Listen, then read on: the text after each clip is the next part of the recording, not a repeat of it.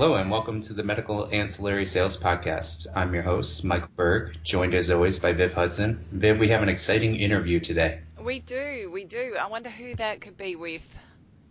Oh, it's you. Well, it's with yours truly. Uh. And we were just we were discussing a topic that's come up recently from the field. I know a lot of people are pushing some of these these new hot programs like osteoarthritis and, and regenerative medicine and some of these other real exciting things that are on the market. But of course, finding a way to get the word out to doctors can some sometimes be difficult. And so we were talking about some out of the box ideas that some people have done, myself included, that have worked very well to get in front of a much wider audience for those of you who are comfortable presenting in front of a, a big audience. Yes, yes. So that's always the challenge is yes, you've got to get out of your own way to do those things, but to create something that people want to come to. So I know that you've had a bit of experience around that in the past. So tell us a story about one time where you actually managed to get a group of doctors together with that out of the box idea. Well, I have a couple of them, Viv, and you're going to find a theme here. They both involve alcohol. It's one way to get but, people to come, and and then they spend more money too, right? well, unfortunately, that is the drawback. But in both of my, I have a couple examples that I'll share, which hopefully will be um, helpful to some people who listen to this, who are trying to think of some ways that they could attack these offices from a different perspective. So the first story was I had, and as you know, I mentioned many times, I started in this business as a drug rep for Merck. And getting FaceTime with your providers, especially your top prescribers, that's always looked upon favorably by your higher ups. That's really what they want. If you can get five minutes a week in with your top prescribers, you're doing pretty good. So uh, in in one of the circumstances, I had a large group where they had multiple locations, and just really could get nowhere with these doctors. To be quite honest, the the one of these situations where they basically shut you out, um, no access or very very minimal access at best. And I tried everything. I tried um, piggybacking on some other people's relationships, some other more senior reps who are maybe selling a different one of our product lines, and just trying to get an angle in. And pretty much the universal answer was, well, if you go with this with this group, they're pretty tough nut to crack. Well, I went to the main corporate office once, and this is when I was too young and dumb to know any better. That oh no, you don't go to the corporate office. But I went to the corporate office, and I I ended up talking to a girl who was an, an administrator, like basically the the uh, practice administrator for the whole practice. And she had just started on the job, and I introduced myself and I told her about some of the troubles that we've had. I, I tried to give her my perspective as as being a sales rep and some of the value that we create. And I said, you know, what would be great is if there's just some way that I could address everybody all at once. Well, collectively, we came up with the idea. She said, well, you know, everybody comes to the office here on Thursday, first Thursday of the month. They come here at the end of the day and we do an all physician meeting. So you're talking about 40, no, God, more than that, probably close to 60 uh, physicians and mid levels that we're going to be at this meeting. So I said, perfect. Here's what we'll do. We'll do, we'll sponsor a happy hour at the practice, at the main corporate headquarters. And they had a big foyer and uh, I went to like a high end grocery store, had them make up like a charcuterie board, bought a bunch of wine and beer, and said we're gonna do a meet and greet happy hour after their meeting. So while they were in their big boardroom having their meeting, my boss came in. I had uh, some of the other salespeople came with me, but I set the whole thing up, and we set set up this uh, spread. Well, wouldn't you know it? They all spill out of their meeting, and pretty much everybody came to, came to the happy hour. And we ended up having some great one-on-one discussions with a lot of the doctors. They were softened up. They were much more likely to talk to me. They didn't have patients that they were dealing with. They didn't have to be in the next exam room, etc. Plus, as you know, al- alcohol is a pretty good social lubricant. So it worked out pretty good in that situation. Now, the other situation was, was pretty similar, and this is something I'm only giving these ideas because uh, it, where that one may not work for ancillary services, um, you know, some of these things would work pretty well if you are pushing one of these programs where uh, to independent physicians. So the the other situation that I had that I got a lot of kudos for when I was a drug rep was we had a, a guy, Dr. Gerges. Dr. Gerges was the top of the heap, number one prescriber. But again, uh, he's a top prescriber, which means he has very little time for for sales reps. Well, I happened to notice once when I was in their office, I saw Dr. Gerges had Ohio University Associate Professor, a uh, little thing on his wall.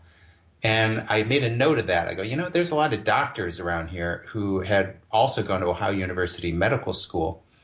So I just had this crazy idea. And I got in to see Dr. Gerges once, and I said, Dr. Gerges, I've talked to a, because he he would ask me sometimes, say, hey, how's uh, how's Jenny doing? Uh, is she happy over at that practice? Tell her I said hi. That was usually the conversation, and these are all former students of his. So I had this idea. I said, Dr. Gerges, I see a lot of people with Ohio University um, medical school degrees on their wall. How would you like it if I got all of them together and we had a little reunion for you? Would you be open to that? He said, Yeah, absolutely. So a local winery was doing a clam bake, which is, you know, an East Coast thing, and in the fall. So I thought, you know, they're selling tickets to this clam bake, so I can kind of control my pricing there, uh, not spend my entire budget. So it was about 40 bucks a head or something like that. And I found a list of all the doctors who had graduated from Ohio University in the last 10 years who were in my call deck. And I went around to each of those doctors. I brought in an invitation and I said, you know, on October 13th, we um, are having a reunion with Dr. Gerges, and they all love Dr. Gerges. I had just about everybody show up to this, Viv. Everybody, including my boss, got wind of it. My boss showed up, and my boss's boss, the region vice president of the company, flew in specifically. Holy crap, you got Dr. Gerges and a bunch of other providers to sit down and give us their undivided attention. And so we had the event we showed everybody showed up at the event. It was a little meet and greet, and we had some picnic tables in the back that were just for us. And I got up in front of everyone. I said, I said, you know, thank you all for attending. If I could just get your uh, steal five minutes of your time, I'll let you guys enjoy the rest of the evening and, and get a chance to catch up.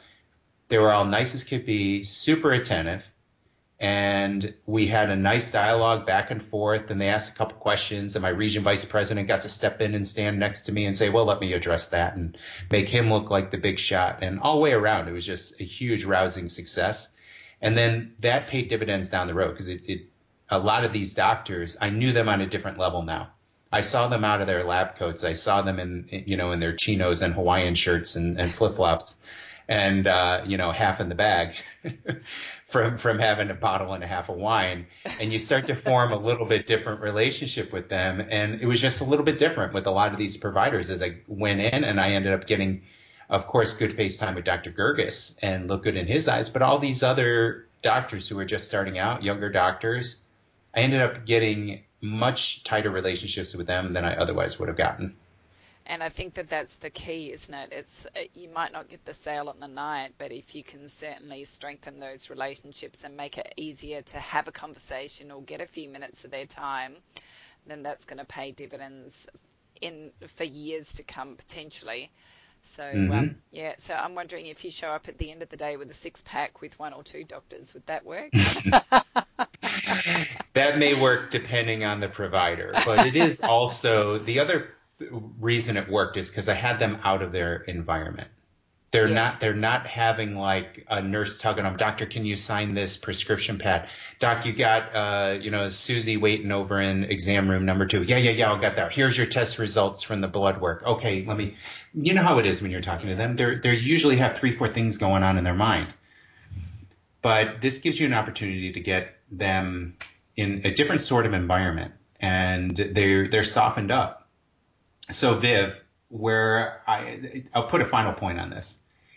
If I were sitting in a rep shoes, which I am a rep, what am I saying? I'm, I'm no, no different from anybody else.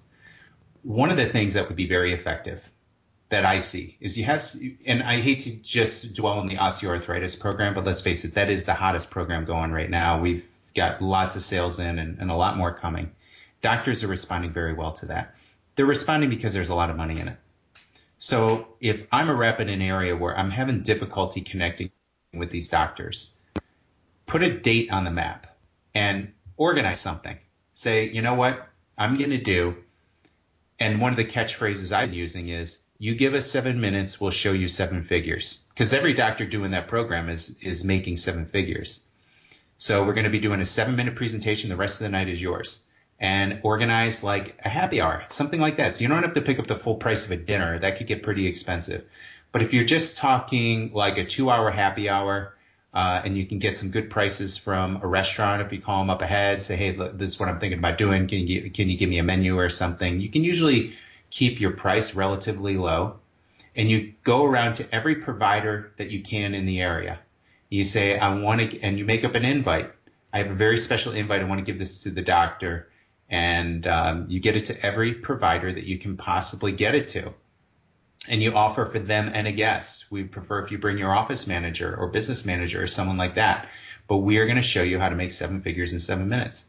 And if you can get a decent amount of people to attend, even if you don't feel comfortable making the presentation, just even making that step, we have plenty of resources. I know you and I, Viv, we traveled around the country. We have other uh, uh people who can travel and meet you. If you set something like that up, it's like that. Uh, Viv, I know you're Australian, so you're probably not familiar with the Kevin Costner movie uh, Field of Dreams.